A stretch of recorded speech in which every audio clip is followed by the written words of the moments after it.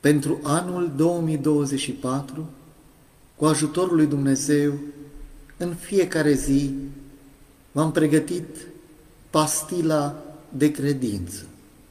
Bine v-am găsit, iubiți frați și surori, întru Hristos Domnul, la emisiunea Pastila de Credință. Astăzi, 12 ianuarie, în cadrul emisiunii Pastila de Credință, ne vom raporta la a doua epistolă a Sfântului Apostol Pavel către Corinteni, capitolul 6, cu versetul 2. Să ascultăm ce spune cuvântul lui Dumnezeu, căci zice, La vreme potrivită te-am ascultat și în ziua mântuirii te-am ajutat. Iată, acum vreme potrivită, iată acum ziua mântuirii. Iubiți frați creștini, înțeleptul împărat Solomon a spus, toate își au vremea lor. Acest lucru este adevărat în privința lucrurilor vremelnice și veșnice.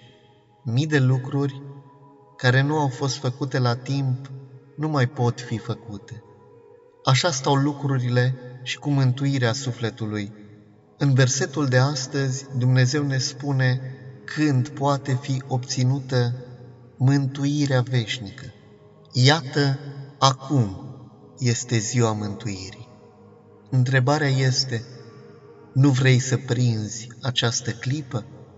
Unii au luat hotărâri bune, dar au devenit pradă dușmanului sufletului, care le-a șoptit, mai este timp.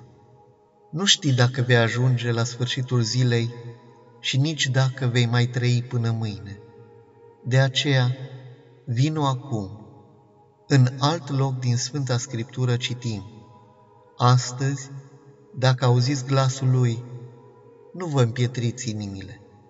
Miza este mare, fie vei merge veșnic în pierzare, fie partea ta va fi slavă. După moarte, nu-ți mai poți schimba soarta.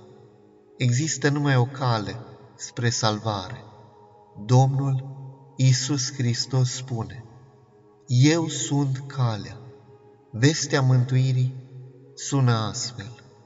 În nimeni altul nu este mântuire, căci nu este sub cer niciun alt nume dat oamenilor în care trebuie să fie mântuiți. Acest nume este Isus Hristos. Cel care crede, acest nume îi devine prețios, dar pentru cel necredincios este o piatră de potignire și o stâncă de cădere.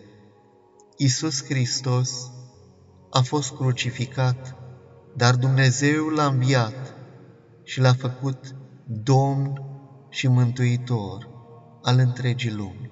Tatăl i-a dat lui toată judecata.